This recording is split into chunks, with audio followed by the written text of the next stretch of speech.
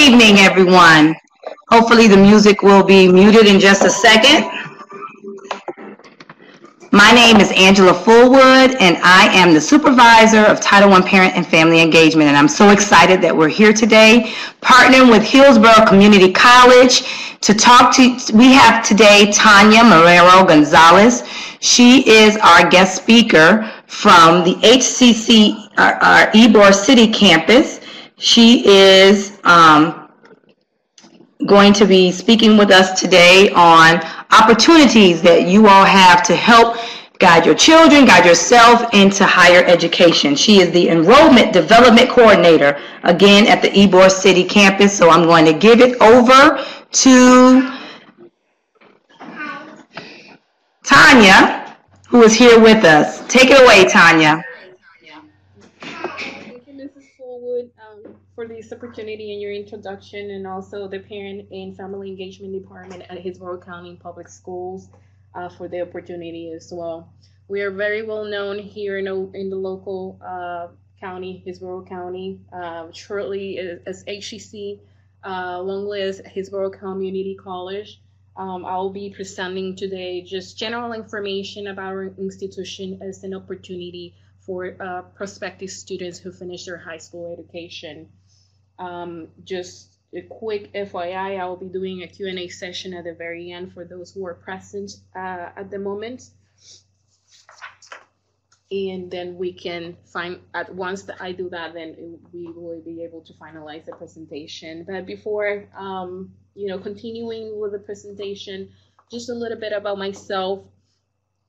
I, like Ms. Fullwood mentioned, I am the uh, current enrollment development coordinator for Hillsborough Community College in the Ybor City campus. Before that, I used to serve as a district bilingual school counselor at Hillsborough County Public School. And I did offer um, guidance services to the international student pop population to include refugees, immigrants, and English language learners. Um, in addition, I help Spanish speaking students and their family uh, in their college and career planning needs uh, through the Pasos al Futuro program. Before that, um, I was an academic advisor again at HCC, uh, and I did help uh, the social in arts and um, English for academic purposes program students. Moving on, um, I would like to share uh, with you our mission and our vision because that's very important uh, that, so you know where we stand and where we want to take our students.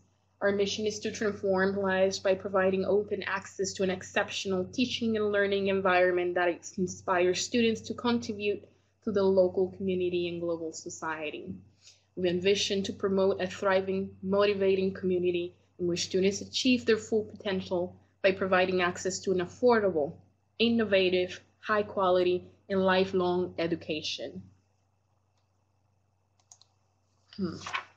So just a very basic um, understanding of what what is a community college. Um, the American American education system provides a range of different higher educational options or post-secondary options once the student finished high school. Uh, they can attend a technical college, a community college, or a university. The community college is a two-year institution, so they, they offer uh, programs uh, are two year up to two years long, and they're of public nature. Uh, they have reasonable priced classes as well, so it's very affordable. Uh, their programs range from, from workforce to technical to academic nature. So they also serve as a pathway to a four-year degree at a university, and I'll talk a little bit about that later on. Uh, honestly, there's no right or wrong. It all depends on what the student wants to do. Uh, you know, to where they want to start, they can certainly start at a technical college, a community college, or right away into a university.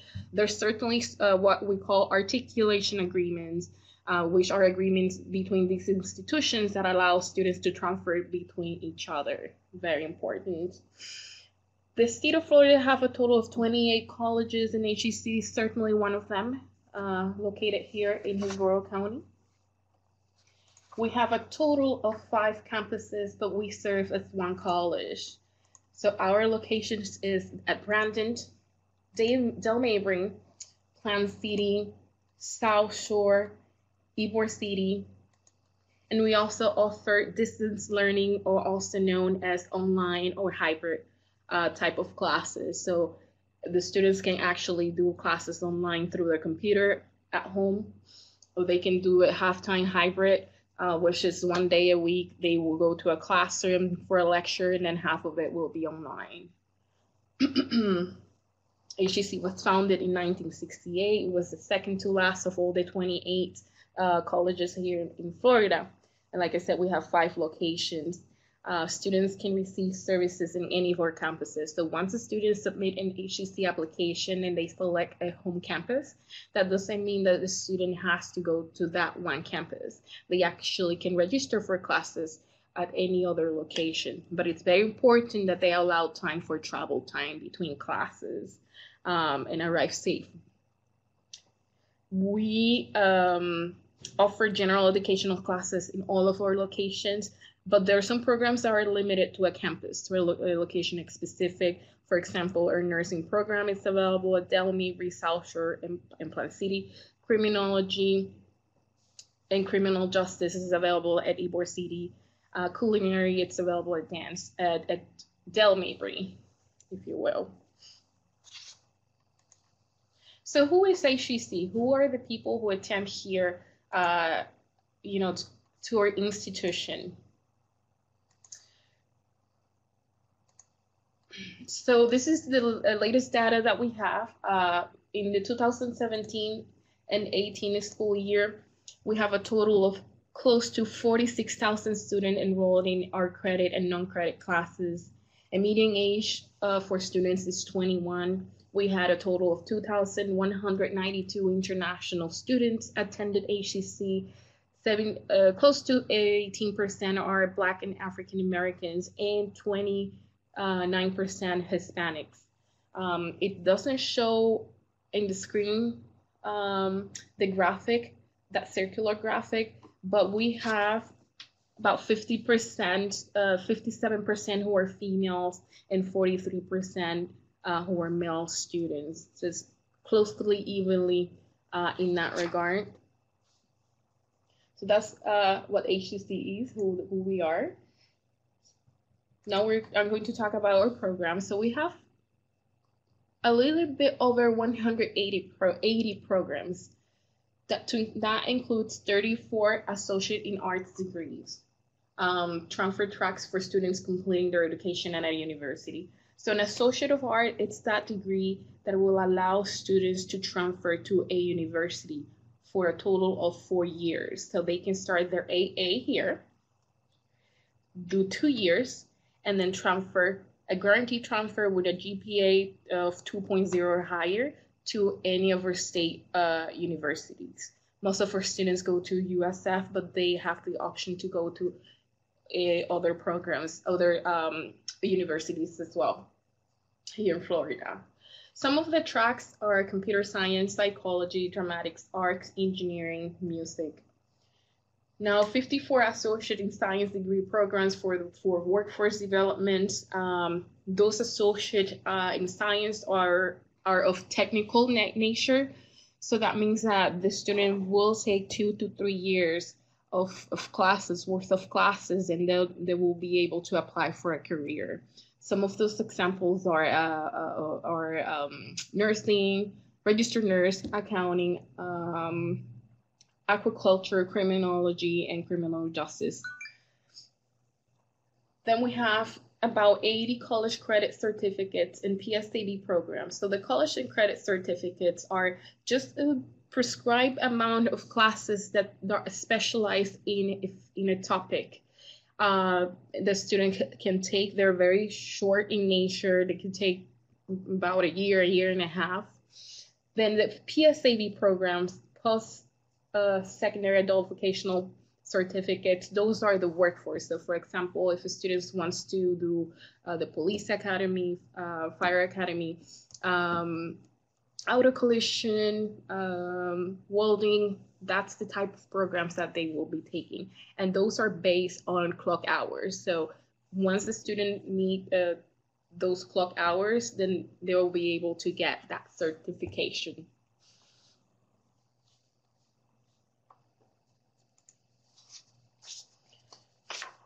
Aside from the academics, we also offer some student services that students can take advantage of. We have academic advising, uh, which ideally the student meets uh, once a semester. Uh, academic advising students can do some um, academic planning. So, you know, distribute the classes of their degree per semester and just make sure that they're in track for graduation. Uh, they can uh, receive degree audits and see which credit, which credits or which classes they need to be able to finish their degree. And that's just an example of what they can do with academic advising. Academic Success Center, uh, it's our tutoring services, so students have the opportunity to receive free tutoring sessions uh, by appointment. Uh, we have admission registration in records of I typically students will see them in the during the enrollment step uh, or getting admissions to to our college. We have the career resource centers where students will find resources that can help them uh, build uh, for a career. Things like uh, how to write a resume, webinars on how to do certain things like a job, job interview, etc., etc. So those are some of the things. They also can, if they are looking for a job, what they will also offer just a listing of job opportunities here in the local uh, area disability services as well, and that will be for uh, permanent and temporary disability. This is voluntary. The student have to self-identify and go and, and request disability services. And when I said temporary disabilities, this mean this mean if a student had an accident, broke an arm, and needs somebody to take notes for him or her, they can go to the disabilities, the Office of Disability Services and request that service. Uh, we have a new welcome center here in the Ybor City where transfer students, like current tram- HCC transfer students hoping to transfer to a university, can get information about those requirements to um, get into their uh, major at different universities we also have some specialized transfer program with USF and FAMU. Uh, USF will be the FUSE program, and then FAMU will be the Ignite program. And that's just add an additional additional layer of support for those students, and they're technically considered either USF students or FAMU students attending HCC during the first two years of their bachelor's degree. They can also do, do if they need help with submitting an HCC application or just registration for classes, they can also come to the Welcome Center to receive that. We have a wonderful HCC Honors Institute. Uh, students can apply for, for that. There's different uh, admission criteria that they can be that they can look and so they can consider the student uh, getting to the program. But it's just another wonderful opportunity where allow, that will allow students to do extracurricular activities um, in a month in a more enhanced um, uh, curriculum, if you will.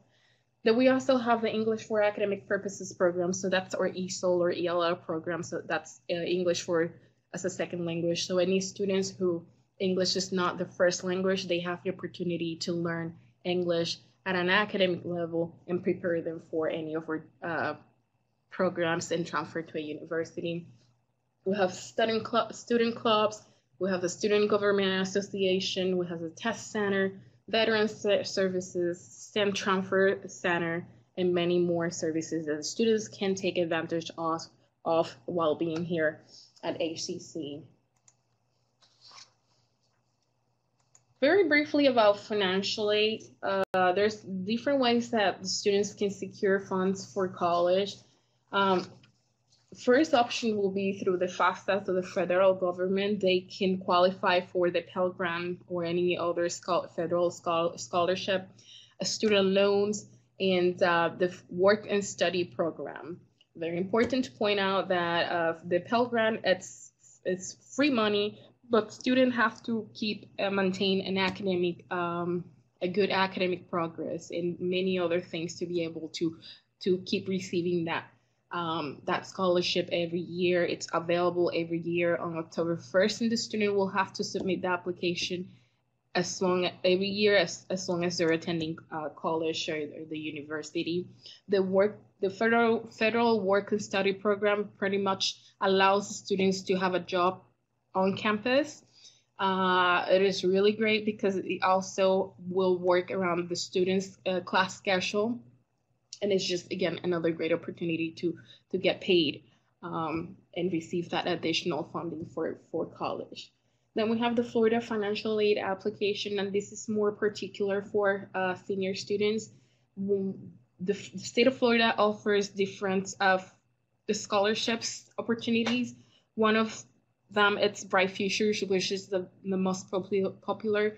Some of the requirements are, um, you know, community service hours, a certain uh, GPA, and then the SAT or ACT scores and you can get that information researching over the internet in their website for the qualifications. Other student can talk with the, their college and career counselor at their high school to get more information. We also have the HCC Foundation. We have two uh, cycles for application uh, each semester. Uh, and we offer a variety of uh, in institutional scholarship for our HCC students and then students can apply for private scholarships outside with different organizations. Um, a great example would be the Hispanic um, Scholarship Foundation. Um, locally, we have Hillsborough Education Foundation. They also offer uh, a scholarship for senior students and eighth grade students.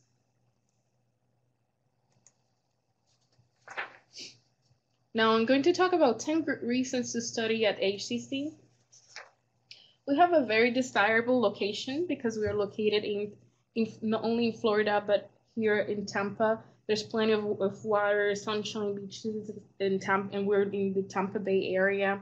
Um, there's Busch Gardens, Disney World. It's an hour away, so it's really, really appealing for for students to attend HCC because of that. We have a strong university transfer program, like I mentioned before. We have a FUSE program with USF. Um, and then we have the Ignite uh, program with FAMU, Florida Agricultural and Mechanical University.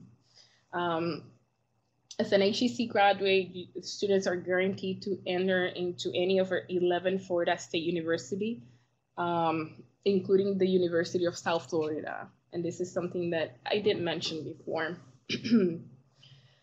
we have we actually have a University of Florida Plant City Education Center where students can um, transfer uh, to some of the UF programs that can be offered through that uh, uh, campus loca- location, uh, but the majors are limited. The same way will be for FUSE and FAMU.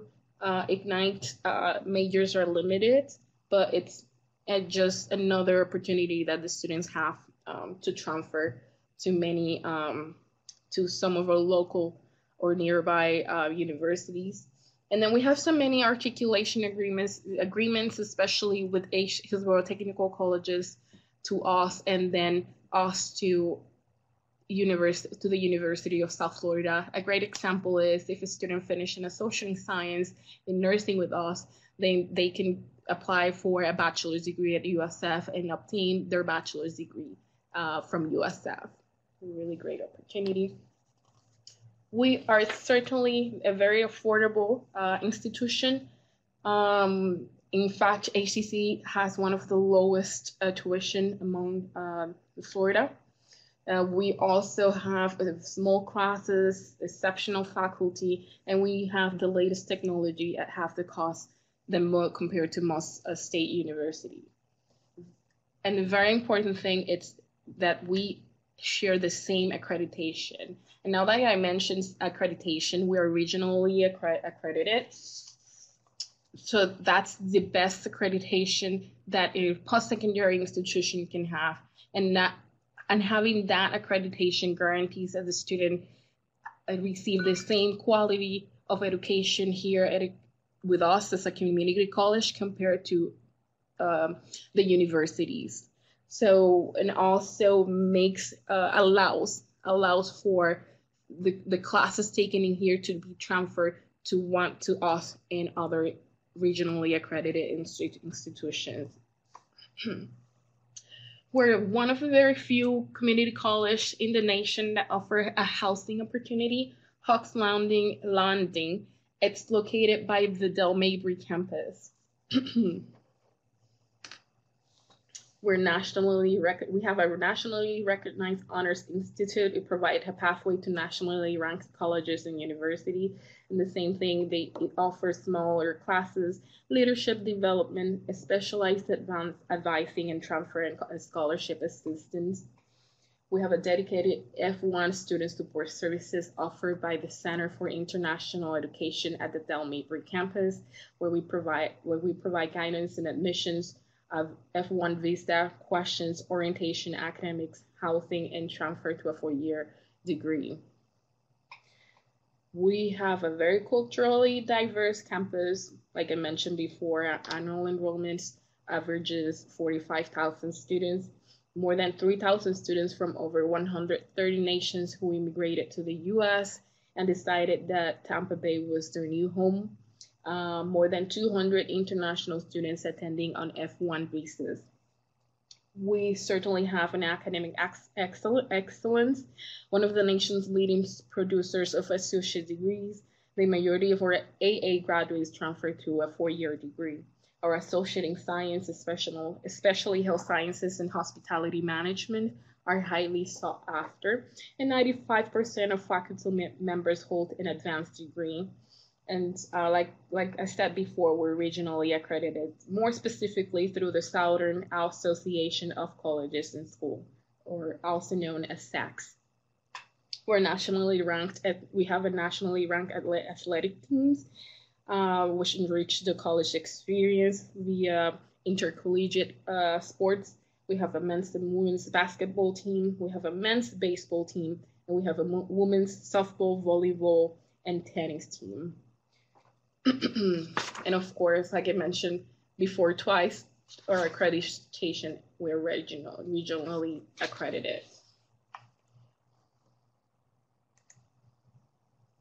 So talking more specifically about our enrollment step or admission process, we have close to nine steps that the students can follow to be able to be considered to attend at HCC we're very flexible uh, in, in admissions compared to most university where admissions is very competitive. Uh, the first step will be to apply. The, the students will find our um, HCC application in our website. Number two, it's very important to determine residency for students because this will make a big difference on how affordable classes can be.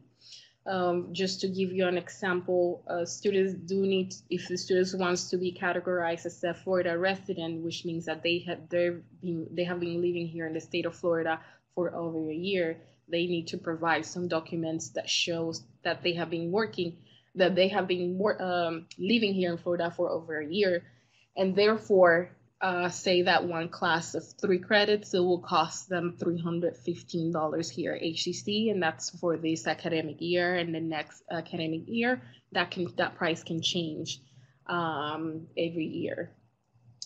For, however, if they're if they're unable to provide those documents, if they don't provide those documents, that same class can cost over a thousand dollars. So that's a big difference, and that's something residency is something that it's that it's it's attached to any public institution here in the state of Florida, any community college or any state um, university.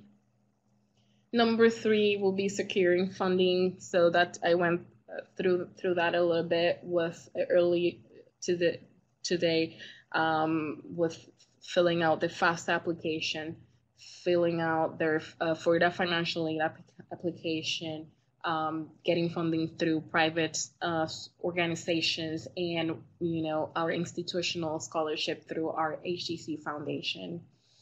Another thing that the students need to do is submit their transcripts from high school and any other um, since we're we're talking more particularly to um, information for high school students, so they they they will need to submit their high school uh, transcripts.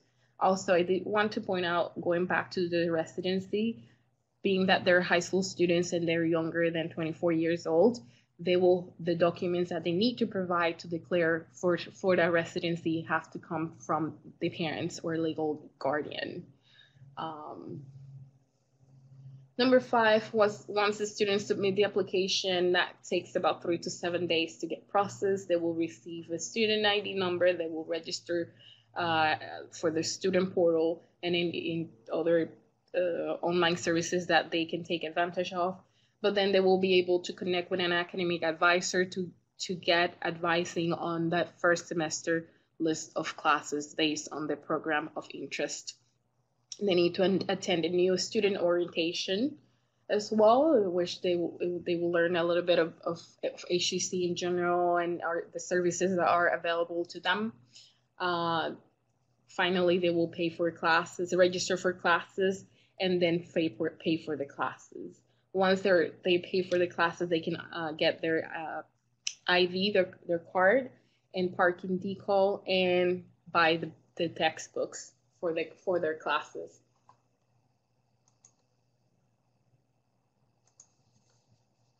So this is what I have for for for you today.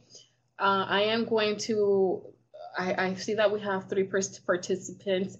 I'm going to allow for a Q&A session. If you have a, a question for me, please uh, use your chat option below and ask, you know, go ahead and, and feel free to type any questions that you have for me. And I'll give you about a minute to do so, just to make sure that it will, it, you know, I'll give you enough time to, to type those questions.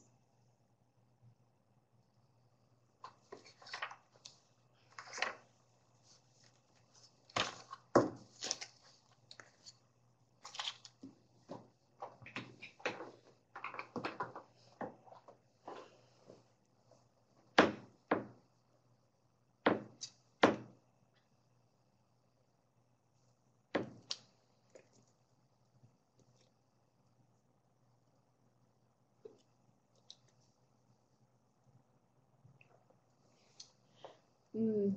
Hello, Leah. Uh, thank you for your question. So, like I said before, HCC is very flexible with um, with admissions. Um, I did fail to mention that uh, requirements, admission requirements, it's a, a, high school diploma and a GPA of 2.0 or higher. And students should submit that application as soon as possible because that will allow them uh, to to take advantage of a lot of opportunities, especially scholarships, and um, and also register for classes early or very early, um, and that will allow them to to create a schedule that is that work for them that is very the most convenient. It can be select, you know, professor professors of their choice, uh, et cetera, et cetera. Uh, in, in reality, we do take uh, applications even uh, two weeks before the start of classes. Again, that's not ideal um, because they would really leave a really short window for students to truly, truly prepare for the college experience and you know submit their financial aid um, information, uh, register for classes. Um, they will have to if they register for classes uh, at that time, if too late, uh, too close to the first week of classes, and they're once they register, they have to pay for the classes. They need to make sure that there's funding to pay for the classes. Um, otherwise, the class the classes will drop for non-payment. So I hope that answered your question. Hello, Mina. Yes, absolutely. I can uh, briefly talk about the dual enrollment option. So our students. Um, here in Hillsborough County, public schools have the option to do dual enrollment classes or, or and be part of the dual enrollment program. Um, now, uh, for summer 2020, I don't think we offer uh, dual enrollment classes for summer. It has to be fall and, and spring semester during the actual school uh, school year at the you know um, at the high school. Um, there's a very um, they they will fill out the application, the HCC application, but it, it has to be the one that it's for dual enrollment. Um, they need to it really depend on the classes that they want to take that they will have to take a, a placement test to identify if where whether the student can start at a col- with college level classes such as English Composition One, uh, Intermediate Algebra, College Algebra. But there are some other classes that don't require um, college level English and Math. So you, that will be like your SLS 15, which is, is, is, study skills, and that's just an introductory course for uh, post-secondary and more specifically for Hillsborough Community College. Uh, the way that they can start a process, it will be at with their uh, academic school counselor at the schools, and the class availability or offering will, will be specific to that school. Each schools, I believe, offer don't offer the same uh, courses uh, than other high schools, if that makes sense. Um,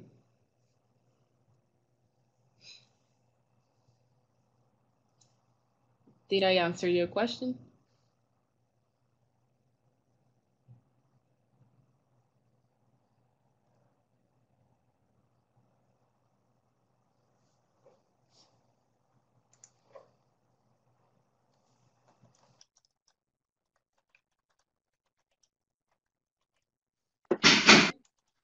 All right, well, if there are no more questions, oh, there is one more question they were asking um, one more question. Um, can they take online classes for summer? And I think, is this still referring to the dual enrollment? Um, you, and I, honest, I can, I'm not very familiar with the dual enrollment, uh, at least for summer. So if you can write down my email address, it's in there in the screen, uh, and my phone number reach out to me and I will I will find out find out for you. But as far as I know, um, dual enrollment classes are limited to fall and spring. Um, now, if, if a student is already an HCC student, graduated from high school, uh, they can certainly take uh, online classes during the summer semester. And let, please let me know if, if I answer your question. Uh, Mina. And I, while she, she Mina types, um, I do welcome you to contact me uh, through my email and uh, my phone number. Um, I do go out a lot to the high schools and uh, the community so if I don't answer the phone, your phone call, you can leave a voicemail and that voicemail goes directly to my email address. So I even though I don't I am not physically in my office, I will know that you uh, left me a voicemail and I'll be able to follow up with you once I get in, get to the, my office or even call you from another phone. Yeah, absolutely. Well, we thank you so much, Tanya. You did you've done a beautiful job with sharing all that great information about enrollment at HCC, and hopefully um, we, this this webinar is being um, videotaped, and so it will be posted on our website. So feel free, um, participants, to share the video with the webinar with your friends and your family members so that they can hear all the Tanya has shared today. Thank you so much, Tanya. Thank you. And with that, we thank everyone for participating with us. Thank you for being with us, and we hope you have a pleasant, terrific Thursday. Every Thursday, almost every Thursday, are the webinars. So just take a look at our catalog, and Tanya will actually share another week this same presentation in Spanish. So thank you again, Tanya, for being such a great partner with Hillsborough County Public Schools. Absolutely. And thank you for allowing me to collaborate with you as well. All right. Good night, everyone. Good night.